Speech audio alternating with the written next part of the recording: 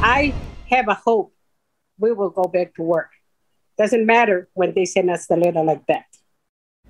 Hospitality workers left in limbo as the right to return bill becomes law in just days. Here's how it works. If an employer is hiring, they have to give priority to the previously laid off worker, either their same job or a similar position. So the worker has 24 hours to accept or decline, but the worker still has the opportunity to decline a position three times before they will no longer be considered. But now, one major casino says the law will actually make it harder to bring workers back. Fox 6's Drew Andre explains where this leaves hundreds of former casino employees waiting on work. Many hospitality workers see the right to return law as a pandemic era win for laid off employees looking for work. Feel great, happy, more than that.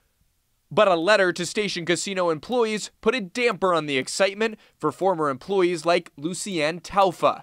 In the letter, the major casino company says after July 1st, we will not be filling jobs we normally would due to this very wrong law, which punishes us for trying to bring team members back to work.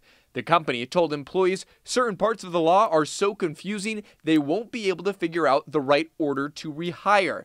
A spokesperson told us it exposes employers to costly litigation with every hire. It rewards part time and on call employees ahead of full time employees, even for full time jobs.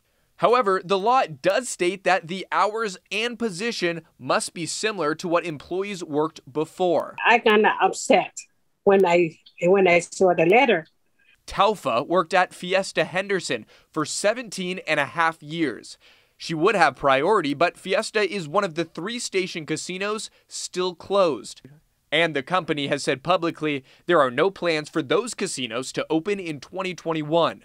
More than 1,500 station employees have been brought back to work, and the company is hiring. Taufa said she attended the station casino's job fair earlier this month. So far, with no luck. Applied for them, and they told me they're going to call me back. And they didn't call.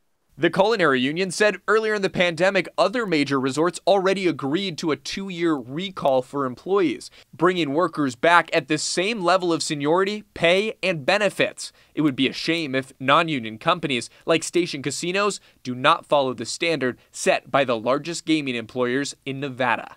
Drew Andre, Fox 5 News, local, Las Vegas. That right to return law goes into effect starting Thursday and will last until next August.